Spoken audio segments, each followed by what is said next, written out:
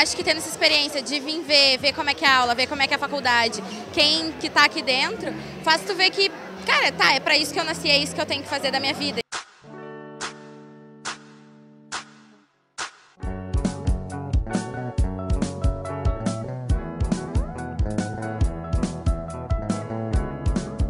que a SPM está fazendo de tipo mostrar o caminho, mostrar que não, não é só um diploma e sim botar no mercado tudo isso, eu acho que tipo ajuda a pessoa a situar que é uma escolha muito importante para a vida dela.